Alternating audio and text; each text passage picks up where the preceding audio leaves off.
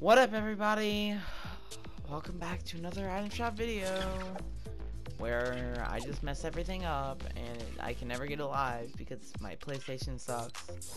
But uh, yeah, there's the item shop guys. I'm just not too happy right now. Like, I'm so mad right now. But uh, yeah. There's the item shop ladies and gentlemen. Hope you guys enjoyed. I will see you guys later. Peace out.